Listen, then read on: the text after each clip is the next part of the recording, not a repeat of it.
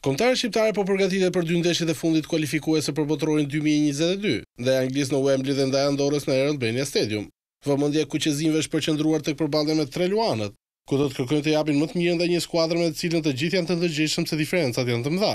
Në qoftë se do të jem në fushën e lojës, uroj që forma e mirë që kam ta ndihmojë ekipin në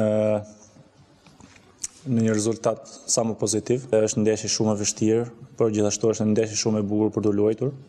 Kështu që ne jemi gati. Unë më shumë jam realist edhe duhet duhet ta pranojmë nivelin e Anglisë, që edhe kur kemi nisur këtë rrugëtim e kemi thënë që Anglia është e para në grup dhe ne do të luftojmë me Hungarinë Patjetër që unë do të doja që në këtë eliminatore ne të paktën të lëmë një nga këto ekipe mbrapa. Me Anglinë është një ndeshje shumë e vështirë, siç e tha dhe Cikalleshi që e dinim që do të dilte e para në grup.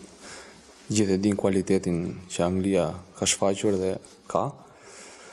Kurse puna e trajnerit si do luajë në fushë atë po e po e bëjmë në stërvitje, nuk e ka vendosur akoma ça taktike do lozim.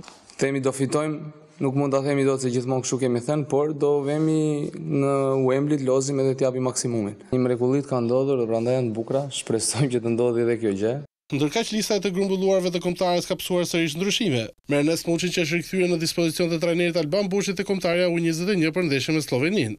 Kombëtarja shqiptare do të luajë ndaj Anglisë më dymbëdhjetë nëntor në Wembley, në një sfidë e cila do të gjykohet nga një kastë arbitrare gjermane, me gjyqtar kryesor Felix Zwayer.